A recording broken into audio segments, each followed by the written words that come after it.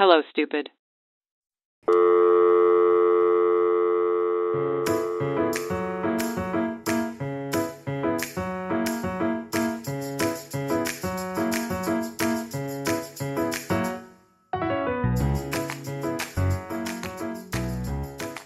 Hi, Saniya.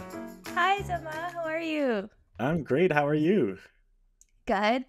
Doing good on this little rainy afternoon. Oh, is it rainy? It is, yeah, super gloomy today. Are you guys done with winter already then? Basically. we had we had one snowfall, well two if you want to count like two centimeters, and our coldest day in like twenty five years, and now we're Yeah. into spring. I'm kidding. I like forgot what Vancouver was. Uh, like the um, I think October to like yeah, mid January is really miserable and the rain like kills me. I can't. Mhm. But afterwards, like the rest of winter is pretty chill. Yeah, no, it's it's usually very mild. It doesn't really go in the negatives that much, and then it just rains nonstop. And it's not even the talking to one fun like the- thunderstorm. It's just mild rain. I know, and it's just like kind of cold, kind of wet, and nonstop, and you don't see the sun, and it's great. You know. Mm-hmm. It's horrible. I, I can't.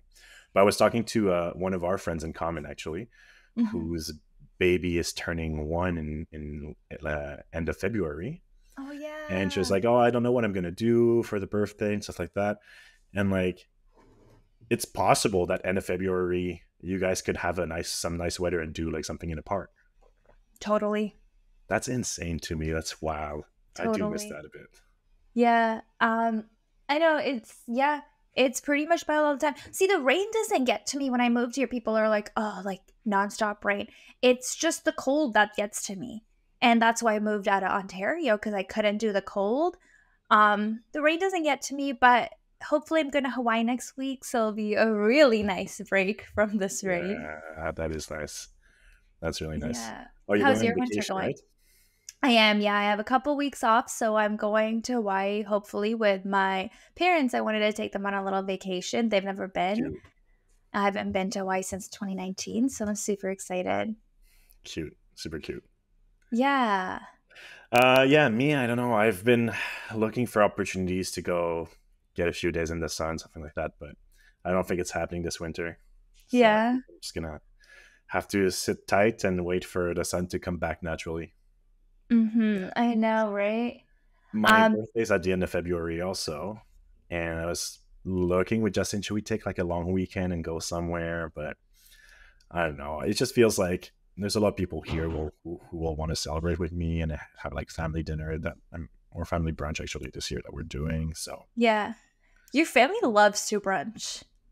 my family, well, we do love to brunch. Yeah, breakfast. You guys are best. big brunch people. Oh yeah, maybe I it's a French thing. I was gonna say I don't think Indians brunch. Uh, Like I don't. If I told my parents, "Oh, you want to host brunch?" They'd be like, "What? No, come Well, for like- dinner." correct me if I'm wrong, but you don't have that much breakfast food to begin with. No, we do. Um, oh, it wouldn't be breakfast. It would be like more of like a lunch. I think, like Like- yeah, like a brunch. But I think like I think Indian families just like to host dinner more. Mm-hmm. And it's funny because I'm like, I think like even our brunch foods have like just so much carbs in it. Like we have these things called parantas, and it's just like Potatoes. are the best. Yeah. so freaking good. it's like carb on carb. It's like potato, like roti stuffed with potatoes. So Yeah. carb on carb. Uh, we like we have brunch foods. We brunch heavy, but I don't think people host each other for brunch. But you know what? It might just be my family. There might be other families that are like, we Yeah, brunch yeah. so much. like I want to say traditionally, but maybe that means nothing. But traditionally, what would like an Indian family eat for breakfast? Like in India, or Yeah. no, sorry, I shouldn't say that. Maybe here too. I think like an Indian breakfast for an Indian family would be like parantas. I think that would be the best, biggest thing, and it's like mainly aloo parantas, which is potato. I mean, Um, absolutely, hundred percent on board. Yeah. Every morning, every day. Oh, there's these. I don't know if you've had these, but it's like puris. It's like these little like puff rotis. They're smaller. Oh no, I don't think so. That with like potatoes. It's usually just like potatoes and a car, another carb to substitute. Right? Why not? Okay. Um, yeah. like my family, like that's like very like what not even once a month. Like if me and my sister both happen to be there, my mom's like, "Oh, I'm gonna make aloo parantas," but other than that, Yeah. that's usually we're just yeah. Me and my sister aren't even big bre- uh, breakfast people, so I think my parents just end up eating a healthy breakfast. We're not up anyways. I know I've like stopped eating breakfast in the last few years. Um and I kind of want to get back to it, but I'm really like on like mostly I don't like making dirty dish- dishes first thing in the morning. Mm-hmm. Like making eggs is all good and I love eating eggs and toast, but like having to wash a pan first thing in the morning, Yeah. I'm not into it. Yeah. I'm not a big breakfast person either. I like naturally intermittent fasts.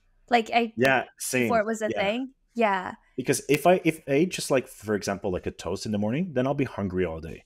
But if I don't eat until like two or three, and I'm not hungry, and then I just eat in the afternoon. I know, same. But then I'll make like whatever I'm having like as my first meal, usually a breakfast. Like I usually have oh, eggs Oh. and yogurt and stuff, but I just can't eat first thing when I wake up.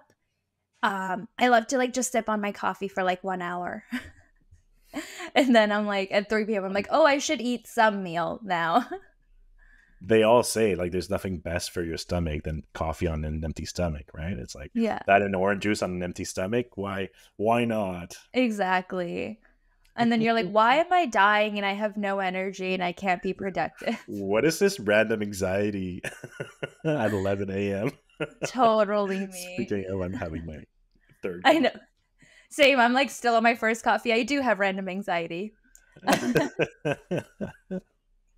well, all right. Episode 12. It's a Saniya episode. So I've got a little bit of humor to start off this morning. you ready? Let's do this.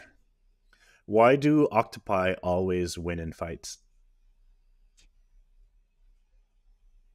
Because of ink? Squinting? No. Why do you try to guess every time? Because you phrase it as a question, I feel like I need to add That's a- something. Oh, that's a joke structure. It's a typical joke structure. Okay. All t- right. Tell me. You ready for the punchline? because they're well armed. I get it. Do you? Do you want to explain arms. it to us? Tentacles. Is it eight? Yeah, octopus. Yeah. Yeah. I got nervous there for a second. I was like, wait, is it? I think the only reason this is funny, me starting the segment with that, it's because you're so bad at jokes.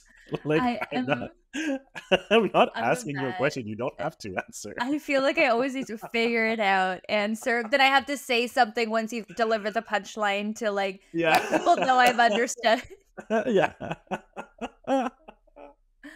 That's so funny. Uh, and like a few weeks ago, you tried to just make your own joke afterwards on the spot, and it wasn't even funny. Anyways, I know, It's- and it's so funny as you're saying that. I'm thinking of like maybe I could bring an octopus joke back into this.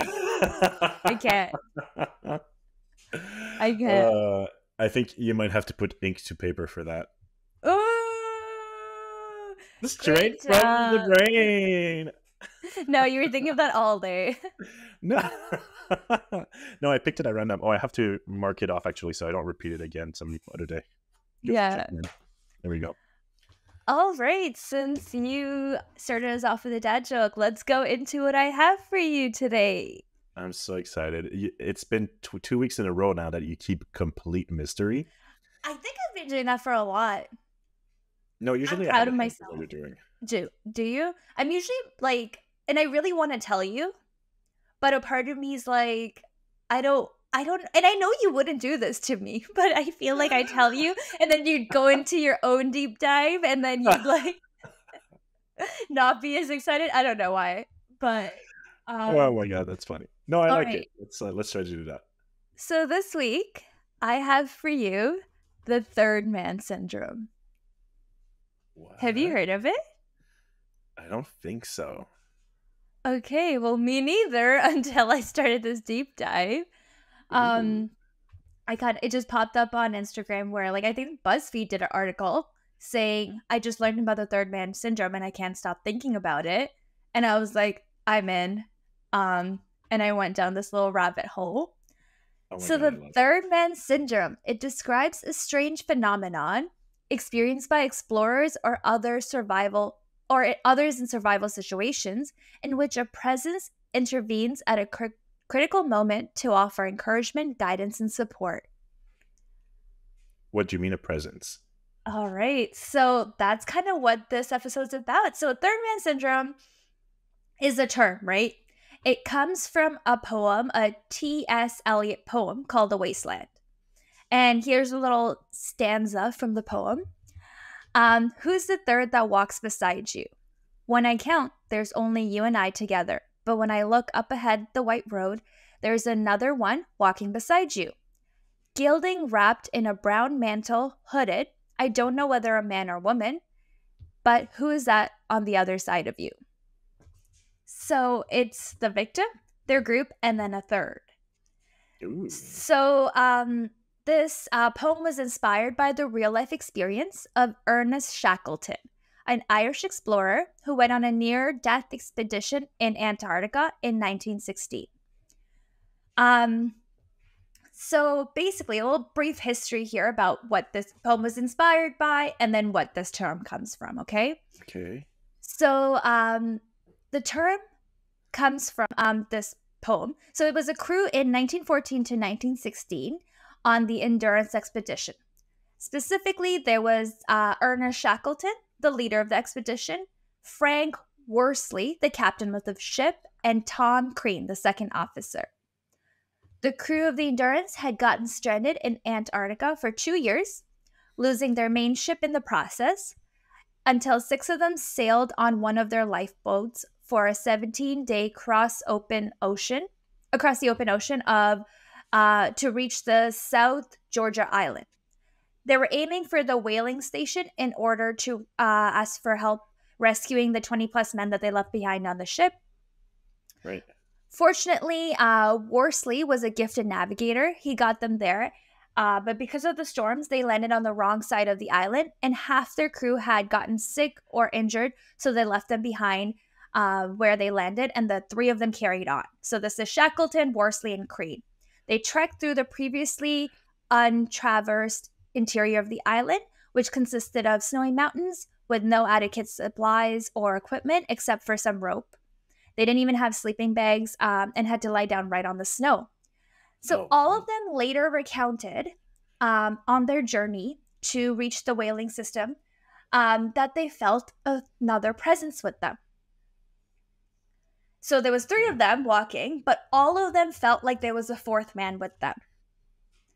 Um, so basically, after they reached uh, the whaling sta- uh, station, um, they it took them because of the weather conditions 36 hours to reach there, and then it took them four months to get back uh, to Elephant Island to save the rest of the people they left behind. And miraculously, all of them had survived. Wild. But what you mean, like they felt there was someone there? So a lot of these stories we'll go through today is that everyone reports in these like near life or death situations that they have someone with them. And the only way we can kind of rationalize this is that there's like a guardian angel kind of looking out for them. Wild. And um, what's crazy is that you can kind of say that in like these life or death scenarios, it's kind of your brain rationalizing that there's someone else with you so you don't feel alone. But sometimes it's also a shared experience. Well, yeah, there, there were already three people, Yeah. so they just like remember a fourth person there, but they They have a feeling of a presence. And also when you're going through such a big survival, like fighting to survive in this experience, you don't even remember every little thing you've been through, right? Oh yeah, yeah, yeah, yeah. So it's kind of just like a presence following you. Interesting. Uh, what's even more interesting is that uh, from all the stories that I've gathered, uh, some people have like a shared experience, which kind of blows me away because it's like, okay, like if you went through a life or death scenario and you're like, hey, I didn't feel alone, I felt like someone was with me. I'm like, oh, maybe that's just your brain rationalizing it, like you being alone. But when it's a bunch of people feeling the same presence, yeah. or when the presence takes form of someone that would comfort you, it's insane. Um, so there's lots of different stories. Um, obviously, I went down a deep Reddit thread, And some of these stories just blew me away Okay. about who this third man is. Wait, so was that the conclusion of their of their exhibition? Like, yeah, uh, so they basically they found where they're supposed to go, and then they even made it back to their men, um, and who were all survived. But as they recounted these stories, all three of them, in separate occasions, was talked about feeling a fourth presence. okay, okay, okay. So that is where the term third man syndrome came from, from this um, poem. Um, and that's where the name That's came from. Sorry. this. Yeah. Exactly. That's where this name came from. So I have Mhm. another little similar story about another one back in the day. Um, I think this would probably be like the second time the third man syndrome was kind of documented. Um, Right. So this is from 1933. A British explorer, Frank Smith, almost became the first person to reach the summit of Mount Everest. Uh, the journey on top was nearly di- disastrous. His entire hiking party had fallen behind and unable to make it through because of sweeping wind, snow, ice, and low oxygen. The usual things you'd expect on Mhm. um, your climb to Mount Everest. Uh, so, and this is 1933, so no one has actually been up there at this point, right? And then Smith continued on, but he actually never made it to the top. He missed it by a thousand feet. How do you miss the top? But I'm guessing because there's so much snow uh, and just wind, so there's snowing blowing in front of you. You don't know where the top is, right? I mean, up. like, I kind of want to agree with you, but I don't get it. I'm guessing. I'm guessing like he's like you know there's snow blowing. He's like I can't do it, and he was like a thousand feet away. oh, okay. Like he gave up. Like, uh, Yeah, Like he, he. Okay. yeah. Because it, it sounded like he almost, like He was like up there. He's like he doesn't feel like it's it. he was at the top. He thought he was at the top, but he didn't. Like he nearly he like he missed it. it. Is like what do you mean he missed it? But like he didn't make it. I think he didn't make it. Um. Yeah. I love I love like can you imagine being like famous for Almost almost, accomplishing something? Exactly. Right. Um. But I think mean- maybe he wasn't even famous until this his his story came out about the third man uh factor, because later in his uh, diary he described um that scientists commonly refer to as the third man syndrome. He recounted at one point on the top of his ascent, he reached into his pocket and pulled out a candle milk mint cake and broke it in half. And then he felt the need to turn around and give it to his companion. But then he realized there was no one there because his entire hiking party had fallen behind. Um, Okay. and that's where he I was need- like, I just felt, even though I was climbing alone, I felt this strong feeling of having a companion beside me. That's so weird. What are you feeling? Also, no, no, I bet I'm I like I got distracted because what kind of cake? They called it a Kendall mint cake, Candle? Like Kendall. um, like Kendall Jenner. Ken- oh, okay. I don't It's know. Hermes. That's why they call it that. Maybe it's a cool brand. um. Oh, but that's wild. Like he he was so certain someone was there that he like split it in half and like was about to share it. With them. yeah, and then he realized he was all alone. Um, Yeah. I mean, oh yeah, yeah. That's weird. But also like like the lack of oxygen mhm. and the exhaustion, the fatigue kicking in. yeah, this one Like I guess you can totally rationalize to your brain, making you feel like you're not alone, or you're kind of Mhm. just going crazy with the lack of oxygen. Totally. But the first story, I'm like, there. It feels like there's someone there, you know, because if it's three of you feeling that way, Yeah, yeah, yeah. Um, that's that's more compelling because there's so many other people are involved, right? Yeah. So basically, the um the author of a book uh, called "The Third Man Factor: Surviving the Impossible." We have the writer John Geiger here. He claims that there is a, several scientific explanations of the third man syndrome, such as biochemical reactions to misfire um, in your brain activity. But he believes that the spiritual explanation makes most, the most sense. And I kind mean- of agree with him. Yeah. Also, like, I don't know if we had this conversation on, on the podcast yet or not. Oh, maybe it was off air. But like for me, it's like, well, you know, the the saying like any science advanced enough is indistinguishable from indistinctable and like you can't tell it fr- apart from magic. I hate that I love this quote, but I can never say You know it. what? I feel like we did talk about this on the podcast um, during the Yeah. lamp episode. We might have, yeah, yeah. yeah. So for me, it's kind of the same thing. It's like, well, you know, I I'm okay with a spiritual experience being triggered by something biological. hmm You know what I mean? Mhm. It's like, oh, it's the the the the takeaway is kind of the same for me. Yeah, totally. Do you believe in like guardian angels?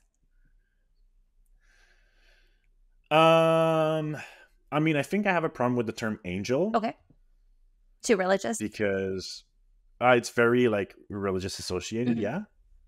Um, but like, Someone looking out I for you? How about that?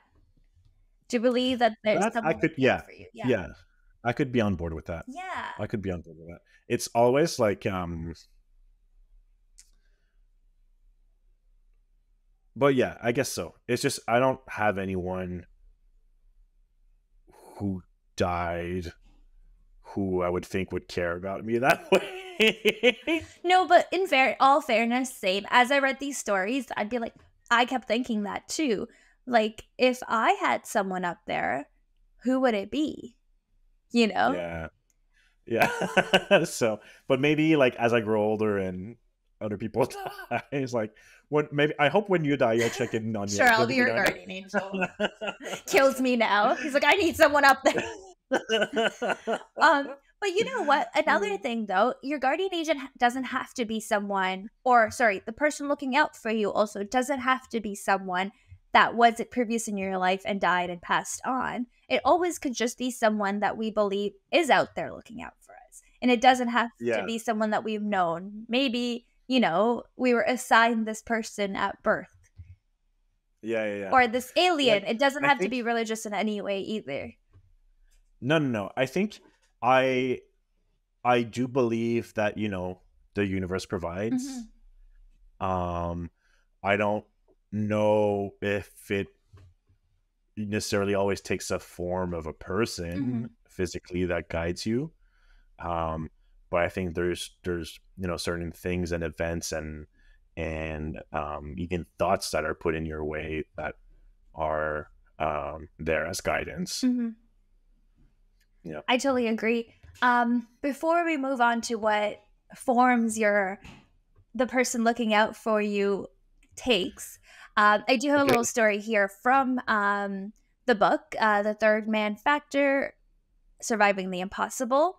So he he, uh, he writes that during the September 11 terrorist attacks in 2001, many survivors reported feeling a presence of the third man who guided them to safety. For example, a group of firefighters that were ta- trapped in the North Tower of the World Trade Center reported feeling a presence of a mysterious figure who led them down the stairs to safety. One of the firefighters later described the experience as follows He led us right to the right stairway and said, You're going to be okay now. You're going to be all right. We didn't know who he was, but he was an angel to us.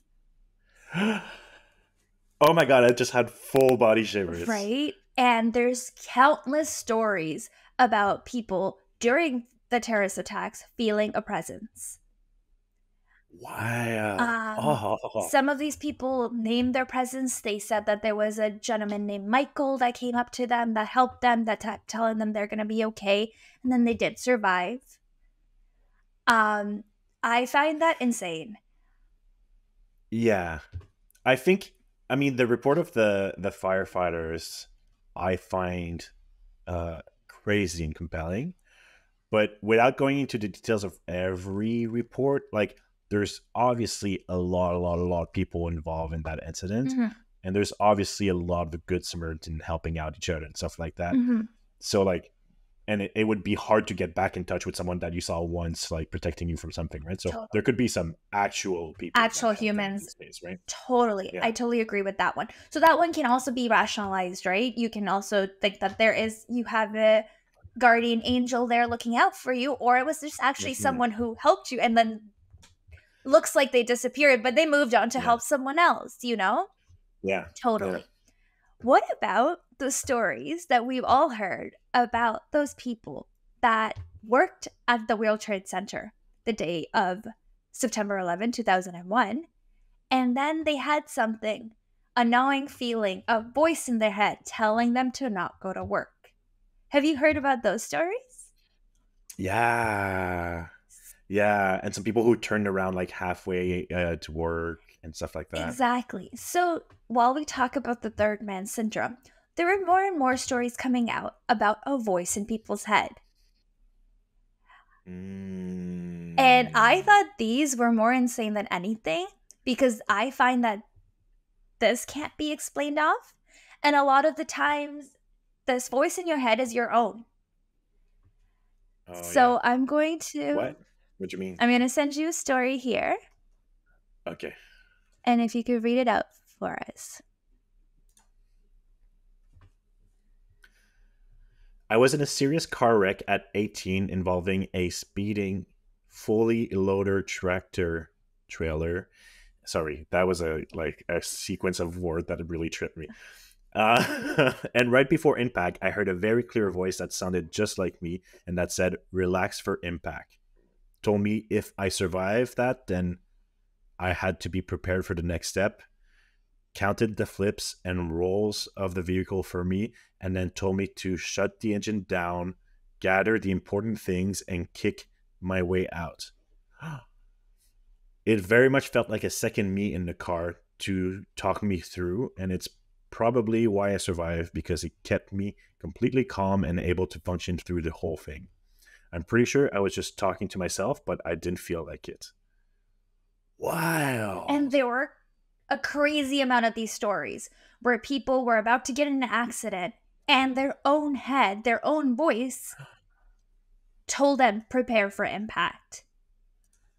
Whoa, that's crazy. Um, there was a couple of stories where, you know, especially back in the day when we didn't wear seatbelts as often. And Yeah. people would get in their car and they'd be driving, and their own voice in their head would be like, put your seatbelt on now. Whoa. It's like it's like your consciousness split into two I uh like entities. Yeah, exactly. And it's come and I keep thinking of this as like the devil on your shoulder and the angel on your shoulder. Um, you know that little I mean, I guess I would say cartoon that I think of in my head where the angel is Yeah. like get it together, something's going to happen. And then instead of panicking in this moment, you're now your guardian angel is kind of guiding you through what to do next. Did you ever have something like that happen? I did not. As I read this, I was like, it'd be so cool if something did. But no, Yeah. did you? Not voices, no. No. I do get like sometimes struck by like a very, very strong feeling. Um and like it's just like An instinct? I don't know, I- and I guess an instinct, yeah. And like, like sadly, often I ignore it. I'm really bad at listening to it. Mhm. But like, uh, most recently, I was struck with like random anxiety that I was going to bump into someone that I really didn't want to bump into, Mhm. and then I was like, no, it's going to be fine. I'm still going to do the thing, and then I did the thing and bumped into them. That's insane. Right. Um. So, But you were fine. but I was fine. No, and I, like and I and I get those kind of Yeah. things sometimes, but never get like actual like distinct voice from like someone talking to you. That's like for me, it feels really like a split, like your subconscious taking entity and like taking like um just sentient form, Mhm. right, and being like, okay, I totally agree. So I'm glad that you're tripping out about this voice in your head just as much as I was. Uh, because then I came across a story from 1997 about God. this woman where the voices in her head told her about the brain tumor that she had. what? So, um, in London, a woman was correctly told about a brain tumor by the voices in her head. Um, so, so the woman had no previous psychological problems, and first heard a voice uh, while she was at home just reading. which told her not to be afraid and said that it was a friend that wanted to help.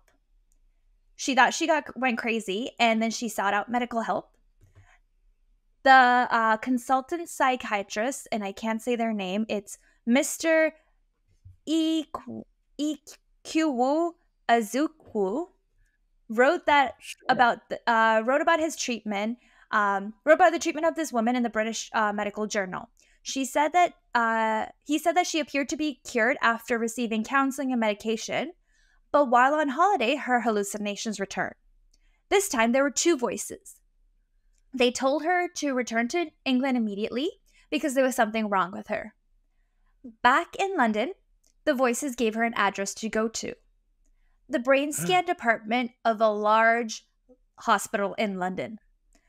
The woman persuaded her husband to drive her there. And then keep in mind, this is 1997, so you're not immediately Googling these kind of things, right? Yeah. so, yeah, yeah. how did the voices in your head know about, like, you know, this brain scan department? address. So insane. And her husband drove her there, and a brain tumor was discovered, which What? was uh, duly removed. And after that, she made a full recovery. And here's the kicker this is what threw me off the edge. As she regained co- consciousness after the operation, she heard the voices for a final time. They told her, We're pleased to have helped you. Goodbye. Oh no! what? Yeah. So, uh, one of the explanations that was put forward by the medical um, conference, where Dr. I can't say his name, uh, Azui described the case, uh, was that she had sensed a feeling in her head, which led her to a fear of tumor. That was the only explanation they can put forward because, other than that, everyone else is as freaked out as we are. You know what I mean? Yeah. Imagine the voices in your head Oh.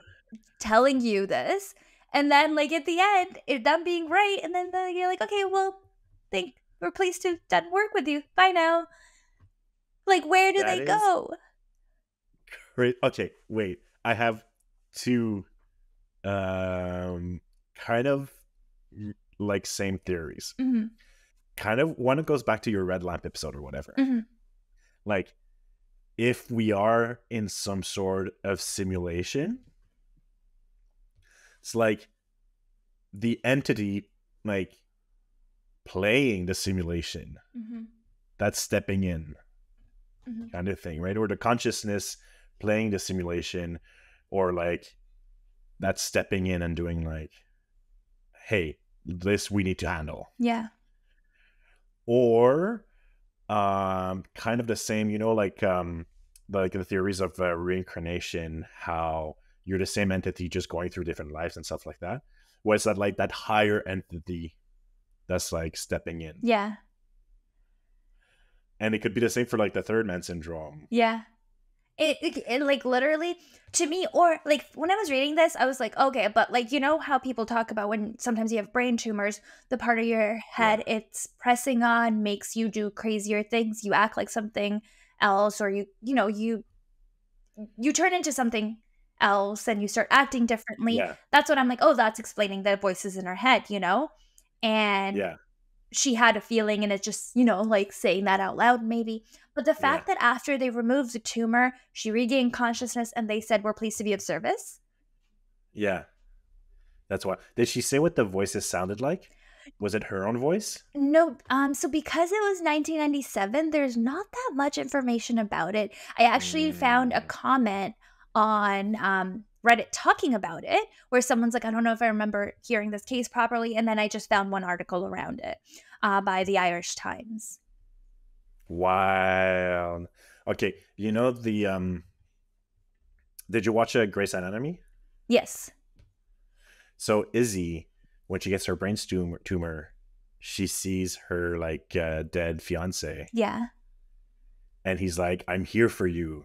I'm here for you," and tries to convince her, like, and leads her to discovering that she has a tumor. that is so true right. So I wonder if it was inspired by that. So many medical um things I hear about always go back to Grey's Anatomy. I know.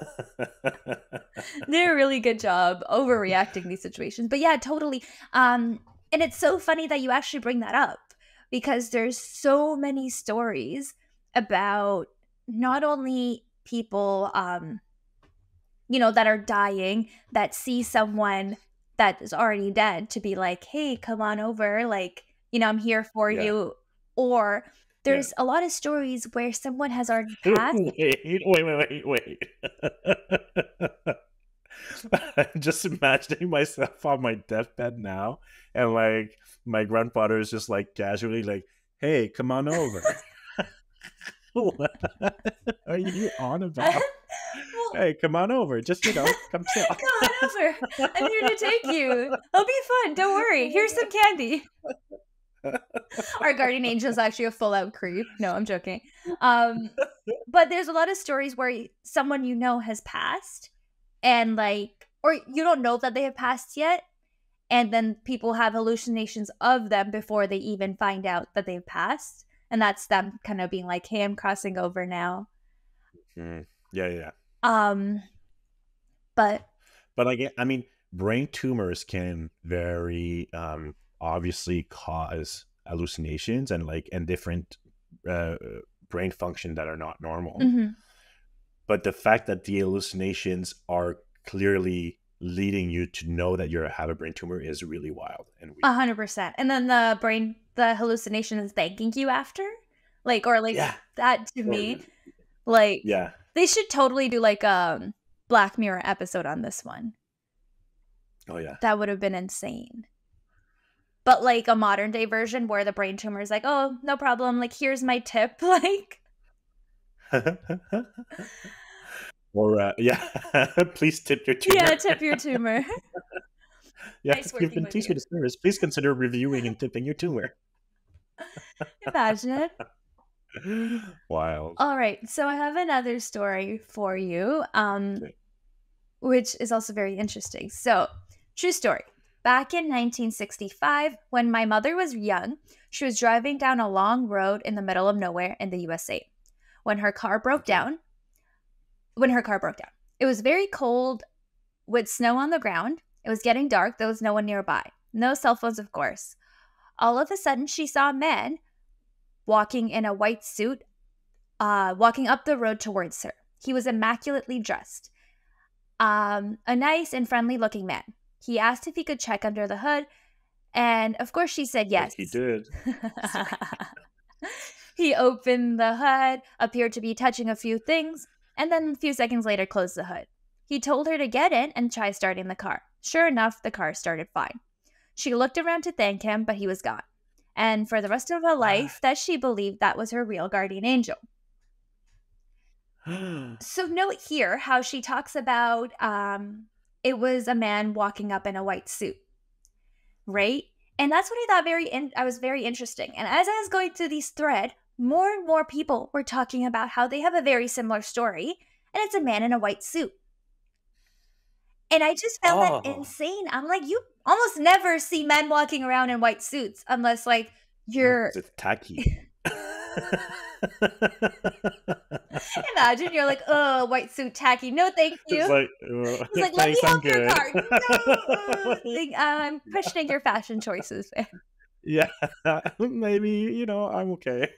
But um, I just found that very fascinating how, you know, a lot of Mhm. people's guardian angel appeared to be a man in a white suit. And a lot of times when we watch um, TV shows and they show, quote unquote, like a heaven, it's like people dressed in all white. So it's Yeah. almost like your guardian angel's taking form of what you're used to seeing. Yeah, exactly. That's the what I was gonna say. I wonder if it's like that's one of like, is it the chicken or the egg that came first kind Yeah. of thing? Is it like, do we represent it like that because we're used to seeing that apparition as a Mm-hmm. culture, or do we see that apparition because that's what we expect because of what we see in pop culture? Exactly, totally. So, what would you think that would make you more susceptible to your guardian angel? So, say it is not Oh, someone that you're like the hottest man.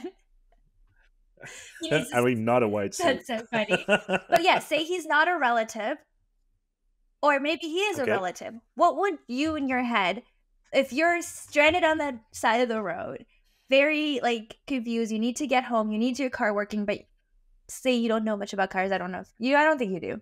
So you're like, shit. What would you make make you comfortable? Um. Okay. For the car situation specifically, Sure. because that's different, right? I think as much as I'd like to assume, as much as much as I'd like to not have preconceived uh, prejudice and stuff like Mhm. that, probably would be a man Mhm. that like I'd be instantly more inclined to to trust. Um, definitely not a family relative. Do not trust anyone with that shit. Have to be a stranger. That's so funny. Someone who looked just I like your know, brother showed up, and you're like, "Oh, I know you know nothing about cars." And okay. Honestly, as long as they're smiling and they have like kind eyes and they look kind, Yeah, right. I think I'd be like, yeah, I need help. Please help me. Mhm. But like, they would have to be, you know, dressed appropriately for the weather because otherwise I'd be like super concerned and kind of suspicious. You're middle of a snowstorm, and you see someone walk up to you in flip flops. I'd be Yeah. like, "Uh, don't you want to get that talisman first before your toes freeze off?" What I mind, however, is like very 70s mechanic overalls, a little bit tight, a bit like 70s porn mechanic mechanic, mechanic guy So good old with the porn stash. Yeah. good old fashioned. Well, this is so funny because like we're talking about the guy in the white suit, and we're thinking of like how TV shows make um make us believe in like you know this guy in the white suit is quote unquote God from heaven. You're thinking of the quote unquote mechanic from these TV shows, you know, the I hot mean, mechanic. You can have a look under my hood. That's so funny. Oh my god. Okay, well, like you, I think, I mean, unlike you, I think I would look for a familiar face. Like, I don't know much about cars, but I usually go to my father or my husband for help when it comes to cars. So I think, like, yeah. if I'm stranded there and I'm scared and alone and I see someone that, like, look like my dad potentially or my husband kind of walk through, I think that would comfort me a bit more. Yeah, but like, wouldn't you be immediately triggered and freaked out and like, because like you know consciously that they're not supposed to be there? Well, no, sorry, not my dad. Someone who looked like my dad, like oh, resembled my looked like. dad. Okay, yeah. Okay. right? And I like, like I like, or like you know, think of your mechanic right now if you have one, and like if someone just looked like your mechanic. I mean, I don't think many of us have a go-to mechanic, but you know what I mean. No, I do. I do. Someone, someone that you would, someone that looks like someone you would trust with that kind of Mhm. stuff. So this is the last story I have for you, and this literally Okay. blew me away. And I've sent it to Okay, you here, so if you want to read it, Okay, perfect. A friend and I were walking home from the club in Florence, Italy. We walked past an American girl walking the opposite way, her GPS blaring where to go. She seemed drunk. We walked past her, paused, then turned around to look at her again. We turned around and there was an American man looking very fresh and clean for 4 a.m. He said, Is that your friend over there? We said, No. He said, Should you go be her friend? We went to walk her home and wait at her door for her friends to buzz her up. Right next to her apartment door was a man hiding behind a parked car, exposed, jacking off the entire time we stood there. My friend and I held hands and booked it all the way home after the girl got inside safely. When we got home, we began discussing what just happened and said, What about that beautiful blonde blonde man who told us to help her? He was wearing the exact outfit my dad used to wear on Sundays. She was like, Blonde? No, he was Latino like me, and he was dressed just like my dad. I still think it's the weirdest thing that ever happened to me. What? that's what kind of blew me away. They both had the same exact story, but the man that, that told them to go help that woman, saying, Should you go be her friend to try and save that woman, took form of someone they both would trust. They saw two different people. Wow. You know, and I think like if this man was dressed like just another man, maybe they wouldn't have thought twice to go help this woman. And like, oh my god, that's so and like they couldn't reach her directly because she's in a, in Paris State, so they reached to some random people next to her to go help Yeah. her. And I mean like what if this like the the woman that was drunk and they got her home safely, what if they had talked to her and she was like, "Oh, there was a man like my dad that told me like, you know, like I should go find help." But like she was yeah, she was drunk and she didn't listen to him or something. That is really spooky. freaked me I, out. I was like, I, I don't know what the third man syndrome is, but nothing but wholesome stories about this figure helping Yeah. people. And well, you don't hear the bad stories because people aren't there to tell. yeah, that's when their their guardian angel failed. Um, just joking, just joking. It's not a thing. I was thinking more like, uh, what's the opposite of guardian? The, I don't know. An Yeah. devil. Yeah, exactly. Neglecting devil. Actually, there was this one story about this guy. He was like, I remember once, like a tree branch fell on him, and he heard a voice inside his head say "shit," and he was kind of like, my guardian angel wasn't helping me, but he did definitely agree with me. Angel was a little slow there. He's like, I left you alone for five minutes, and this is what you get up to. But I thought, um, That's hilarious. at the end it's so fascinating like some people have encounters with another person um some people have encounters with what they perceive as an angel like man in a white suit or whatever and then some people's guardian angel is someone that they would trust you know Yeah. Well, that's interesting. I think that's why earlier I said like I think I have a problem with the term Mhm. angel, but like yeah, if you're someone who who's been raised in that context and who believes uh in in in a specific religion stuff like that, well then yeah, maybe a man in a white suit would be the most comforting thing for Mhm. you, right?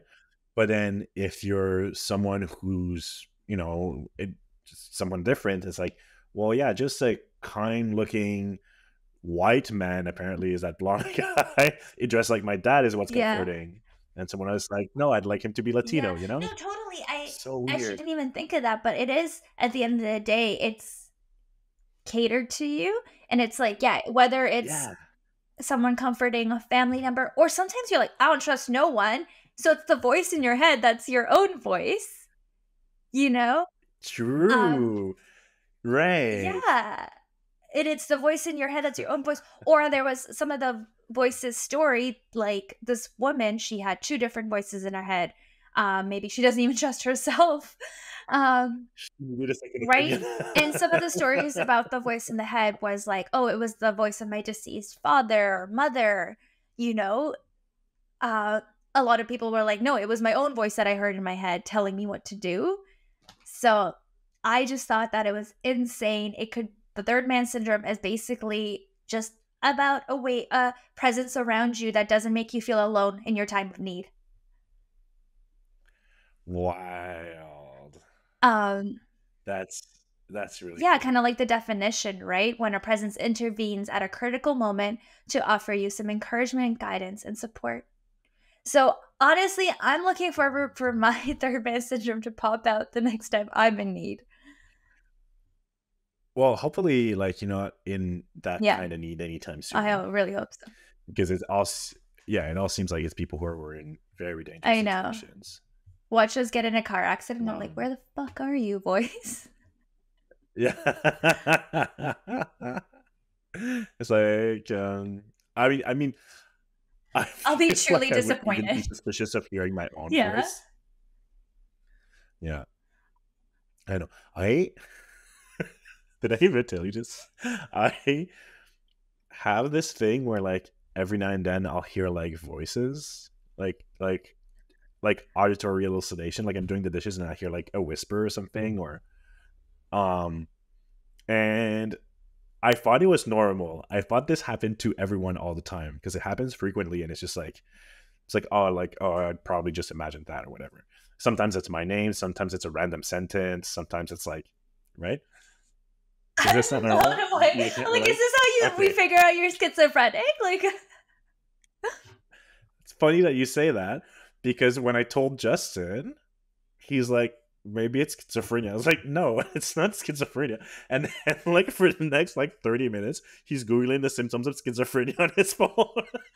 oh my god, I'm thinking too. And we were at a party. I told that story to the entire group, and he's just like there in the corner googling. I'm at the party. I think everyone was probably like, "Oh, I tell him to go figure it." Yeah. So what do they say to you?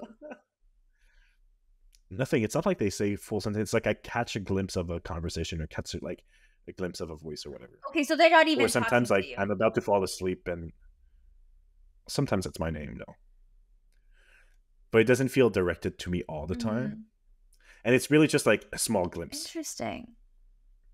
Often when like I'm right about to fall asleep also, sometimes it's well i think when you're when you're about to fall asleep it might just be like your dreams Oh yeah, it's just I think it's just like some my brain doing some random shit. Mm-hmm. Wait, am I schizophrenic? yeah. my next deep dive is gonna be. I think it's ghosts. My wait, no, no, I, I take it back. I think it's, ghosts. it's ghosts. I hear okay. Cool. Yeah. Yeah. yeah. I took enough meds already yeah. as it is. I don't want to add some.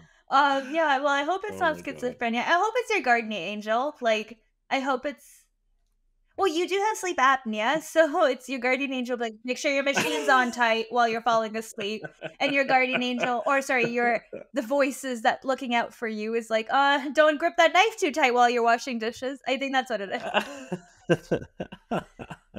yeah, sure. let's go with that. I like that. Uh, that's what I. I'll tell my psychiatrist. In conclusion, what I'd like to say is kind to the voices in your head. And if there are people talking to you, maybe go get checked out. Um but yeah. Yeah. That that that story of the woman with the tumor is really really, really that was insane that's also like not third man syndrome um I think all the other stories were, but not that one was. That just blew me away yeah. about the voice in her head. Um, but I think my favorite story is the last one we just. That was my favorite too. Like, it's crazy. I think that's so cool. Um, that's that really cool. There, the man looking out for that woman that was drunk appeared in two different forms for two different people in her time of need. Yeah. Yeah. Yeah. yeah. Well, I hope you'll enjoy. Wow. Yeah. What? What? What's that? Oh, oh, they say well done. I got so scared. oh my god. Oh my god. Yeah. I'm worried about you. Let's go get you some help. I'm kidding. Yeah. Well, bye everyone. Talk to bye. you next week. All the voices um, in our head. Enjoy. Yes, everyone, everybody says bye. Bye.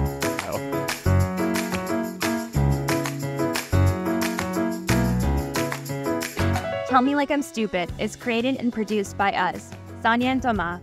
You can follow us on Instagram at Tell Me Like I'm Stupid. If you'd like to support us, please subscribe and review on your favorite podcast streaming platform. Our cover art was created by Heesh. Find him on Instagram at h.e.e.s.h. Thank you for listening.